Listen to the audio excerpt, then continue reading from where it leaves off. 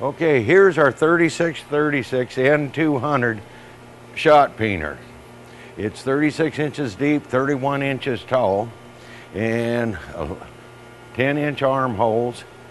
We got a 200 square foot dust cartridge dust collector. We got up here a button with his reverse pulse air, what cleans the filter. Then over here we got a vibrator. That vibrates a 225 square foot cartridge filter. And we've done about 30 waffle irons, and that's what come off of the 30 waffle irons. But that's 225 square foot filter. Got a silencer to keep it quiet when you're running. One cubic foot pot down underneath that's under pressure. And there's the valve for media. We're running the media. It's got blowdown controls. Every time you let off, it depressurizes the pot. Takes up very little space. The dust collector, the uh, dust collector is mounted on the sides and fit all the way up to the, the back. And we got a separator reclaimer up there, four 190 watt light bulbs. And on waffles, we use a turntable, which is mounted mounted up at the right height, and we've got stops. You'll see that in a few minutes. But it all they all have safety door interlocks, double line door, rubber line back, so that the shot does not hit the back and bounce back. Do the window, use a refrigeration type lock. And we use the heavy duty hose coming up, and then we use a soft whip hose It's real flexible and it's a quarter inch nozzle. then we got a flow meter up here that tells you when the when the filter's clogged it needs to be pulsed. Now you notice here we got the plenty of good light, moves a lot of air. And now I'll show you a blasting a waffle iron. Let me show you the waffle iron first. Here's what they look like when you're thinking out of the box. Well, cleaning that Teflon to recoat them. Well, this here we can clean them without changing the shape. And I can clean one of these in about five minutes. And I'll show you here.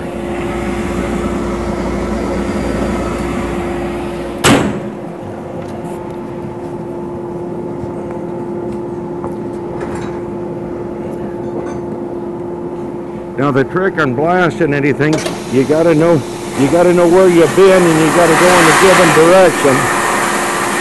And for doing a waffle iron, I like going 90 degrees straight across, and then we'll turn it 90. You can see how fast it comes off.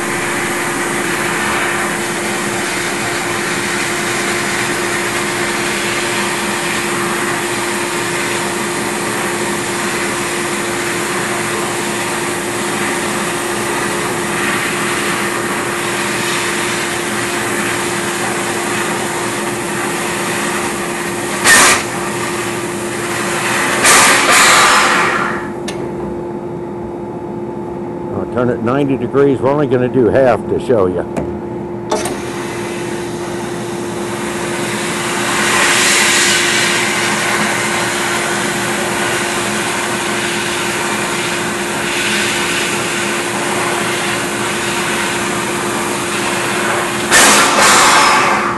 I'm going to turn it 90 degrees again.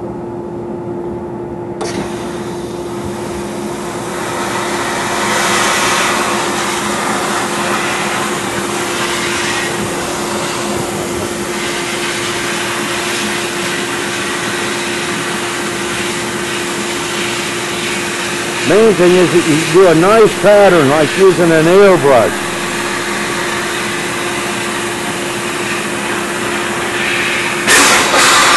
Now turn it 90 degrees again.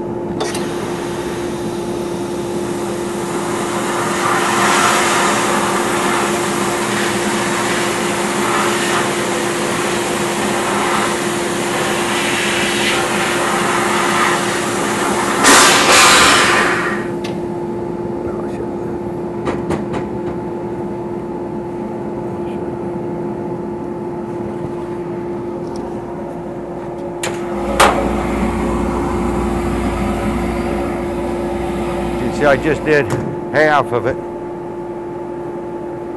And these are one of the worst things you could ever clean. Most guys, they'll try to put them in their glass beader and clean them, and they'll spend hours, but we can do them in five minutes. Anyway, give us a call if you're interested or any questions. Just call ABS, and we've got the answer for you.